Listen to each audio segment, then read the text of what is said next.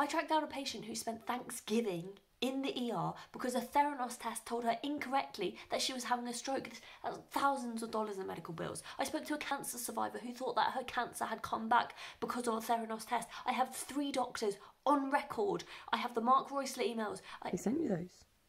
No, not yet, but he should shortly. And from what he says, they are very damning. I have Gardner and Gibbons on record. I have Tyler Shultz on background. Okay, we'll call Mark Roessler and have him hurry up with those emails.